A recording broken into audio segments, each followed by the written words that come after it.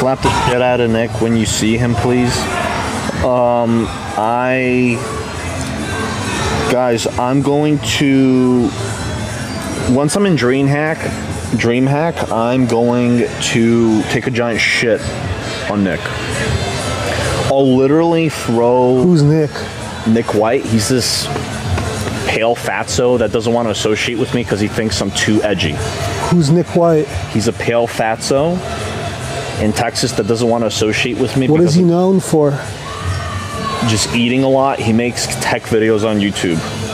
He sounds like a major flambe. Flambe? Yeah. Okay, gotcha. Thanks for not using that word. Um, I like Nick White, but I will throw I don't even know my, who he is. shit at him. Like, I I, don't know will who throw my shit at him, and I hope I hope we can bond. You know, I hope we can be friends because he just always he was friendly to me in person, and then I don't know, he just gave me like a very cold shoulder, like nobody else ever. Nick White. And this this is before he knew anything about me. I'm looking up Nick White right now on You're my gonna look him phone. up? Look him up. never heard of the guy. Look up, there's like a million Nick Whites. So, like, He's on YouTube. uh, what's he like? What's like a video he's known for?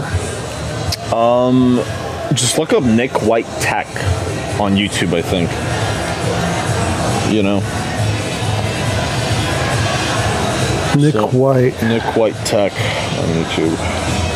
He's on YouTube. Yeah, he's very big on YouTube. In fact, he's probably a bigger YouTuber than a streamer. Like, if I throw my own excrement at Nick, does he have the legal right in Texas Yo, to shoot me in dude, this self-defense? is like, what the fuck are you talking about, dude? Talk about something interesting. Okay, so do you want to talk about esotericism?